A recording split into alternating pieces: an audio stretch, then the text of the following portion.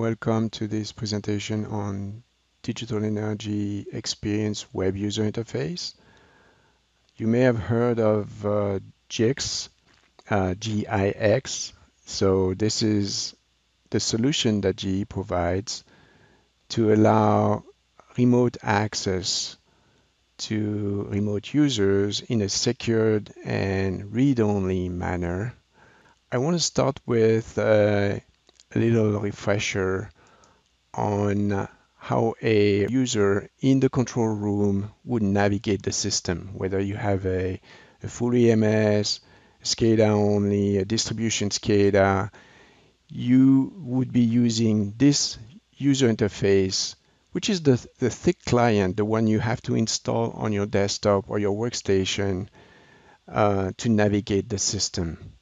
So a user in that case can navigate the system by clicking on, on these links, um, calling up a single line diagram for a substation, Douglas in, in this case, and from there navigate the system, if I want to go to the Hanover substation, I can click there. I could go to Richview, for example. If there are layers in my display, I can turn them on. So in this case, I'm showing state estimator values next to the SCADA values um, in the thick client again um, of the real-time system. A user may choose to take a look at the SCADA tabular displays that you may have seen already. You may be familiar with those displays. You can look at the whole list of data, the points, the analogs, the accumulators in the system. You could use, use those tabs to filter just the, the subset of the data that you want to look at. There are many, many different ways you can navigate the system uh, you may actually have embedded those types of menus in your own displays, like drop-down menus, or these, type of menus that allow you to bring up a, a summary display, like the exception summary in this case.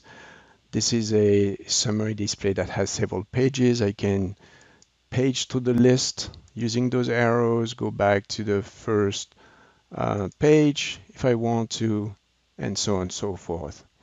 I just want to finish this uh, little uh, uh, walkthrough by calling up an, an, overview of the system. This is a SCADA display that's actually much larger than my, than my viewport. And uh, what I'm doing right now, I'm hitting the control key and using the, the mouse wheel um, to zoom in and out. So it, it, gives you an idea of how I can navigate the system and, and the type of experience I'm, I'm getting from this uh, thick client again. So now we're going to leave that aside for a minute. I'm going to close those, those uh, windows and I want to jump to a web browser connected to the same system. I'm actually using Chrome in this case. The system is actually available on a number of browsers. We've tested uh, Internet Explorer, Edge, Safari, um, those very uh, popular browsers. So this is the page where you would land after just right after you authenticate with the system. Uh, remember, we were doing this in a, secured way, so you, you'll have control on who you allow into the system. And this page shows you a number of uh, displays that you uh, recently called, but you can always come in and say, uh, for example, I want to navigate. We, we, were looking at the Douglas substation. As you type in some string, it shows you all the displays that have the DOU string in them. So if I click there, there you go. We are looking at the same um, substation one line in a web browser, i'm can navigate the same way. Uh, if I want to go to Hanover or Richview, I just click those uh, those buttons and the system takes me there, right?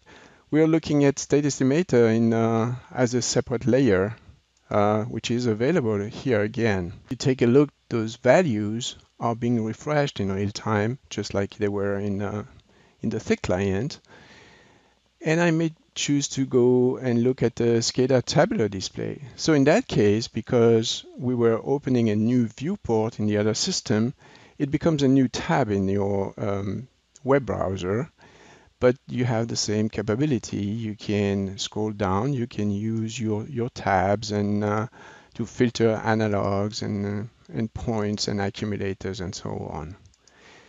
If you might be wondering at that point, since those displays are exactly the same as, as the one you, you used to use, um, if, if a user uses some of the actions on the display, what happens? If I try to remove a particular point from, from service, for example, the system will block me because this is an, an action that's not allowed here.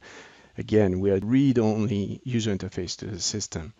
Some of our customers are actually using this connected to a an RDS, a replicated data server, as, a, as another layer of security to make sure that nobody will be uh, allowed to send actions into the system. I can use the same menus I was showing over here or navigate to exception summary, for example, this one here with the number of pages. Uh, I can use those uh, arrows again, same thing. If the display happens to have a pop-up or more information that's available as a pop-up, it will come up in the uh, web browser. Um, here's the, a lot more details for your analysts about this particular uh, analog that I selected. So again, all of this is available. And uh, you, the way you navigate the system is, is essentially the same as what you do using the thick client and the uh, regular displays in the system. You may wonder uh, how we do menus and icon at the top. There is none, none of that uh, here in the web browser. There is actually a little menu over here.